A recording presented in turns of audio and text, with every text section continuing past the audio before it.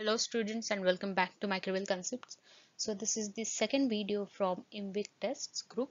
Okay, so the I stands for indole. So already a video is uploaded on indole test. M stands for methyl red test and that is what we are going to discuss in this video.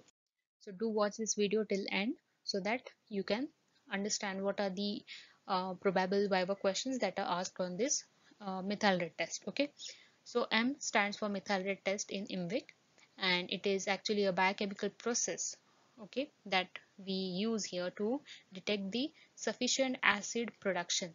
Now the acid is the end product that is produced during the glucose fermentation. So that's the basic principle here. Now to detect the acid production we need a pH indicator and that is the methyl red that we are using here so some bacteria they have the ability to utilize glucose and convert into stable acids as the end product. Okay. So the acid can be one of these that is lactic acid, acetic acid or formic acid. Okay. One of these and uh, why? Because each and every species has the ability to convert glucose into one of these acids. Okay. Not all three acids are produced. Any one of these can be present. Now the bacterial culture uh, that is producing acid it can be uh, at pH 4.5 or below. So if the bacteria has the ability to produce acid then the methyl red will turn red okay? And if not then it will be yellow. It will remain as it is yellow okay? That's the main principle that we are using here okay? Or that's the ability of methyl red the pH indicator. And it will change the color depending on the pH and that's what we are using okay so now the media that we use for this particular test that is MRVP broth okay? So from the name itself you can understand that the same broth is used for MR test that is methyl red and VP that is Voges Proskauer okay so after inoculation and incubation same broth culture can be divided into two test tubes okay? Or you can take aliquots in two test tubes and you can proceed for MR and VP at the same time okay? So MRVP broth is having the pH of 6.9 plus minus 0.2 so you can say it is uh, it has the neutral pH and the ingredients are buffered peptone glucose and dipotassium phosphate. That is the composition of MRVP okay so now the pH is at the neutral. So if the culture that is growing in this broth it has the ability to produce acid then the pH will drop down. So if the pH is 4.5 or below then methyl red will turn in or it will get uh, the color change you will observe is the red. If the pH is between 4.5 to 6.2 then the color change you will observe is orange and that is considered as weak positive. Okay red is considered as positive. And if the pH is above 6.2 that is alkaline then methyl red shows yellow color and that is negative. Okay so this is the color change that you have to remember and you have to interpret accordingly now about the methyl red solution. So we use here 0.02 percent of methyl red solution. So we take 1 gram of methyl red, dissolve it in 300 ml of 95% ethyl alcohol and we make up the volume by adding 200 ml of distilled water. We make up the volume till 500 ml and we store it at 4 to 8 degrees Celsius in brown bottle or amber bottle.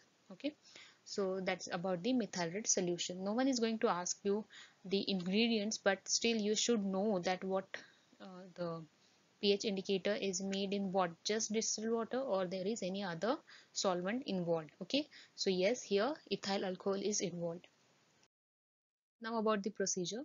So first the test organism freshly grown 18 to 24 hours old culture is used always for the biochemical test okay? So we use the uh, freshly grown 24 hours culture and we inoculate it in MRVP broth. We incubate at 37 degrees celsius for 24 hours and after incubation take aliquot from the broth of say 1 ml and re-incubate the remaining broth okay? The reason is if you get a weak um, positive reaction then in that case you need to re-incubate the remaining broth for further 4 days to repeat the test. That's the reason we are taking small aliquot here. Then add 2 to 3 drops of methyl red and observe the color change immediately. Okay? Then if you get color change to red then you interpret as positive. If the color is yellow then you interpret negative.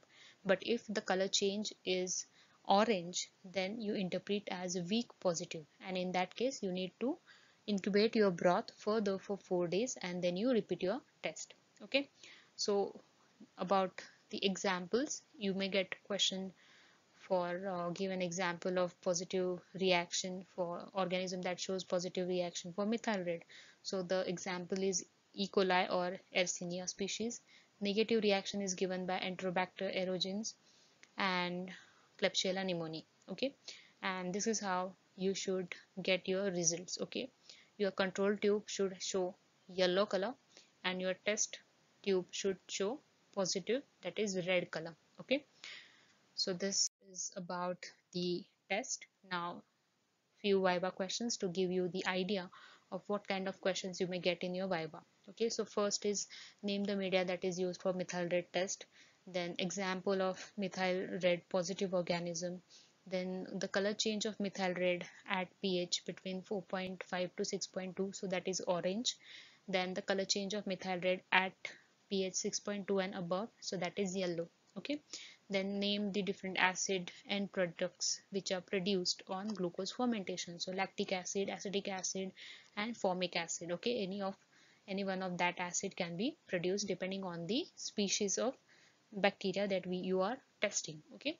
So these are some viva questions. So i hope this concept is clear to you all.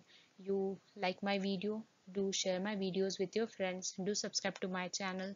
And don't forget to hit the bell icon so that you will get notified on each new video that i upload okay? Thank you for watching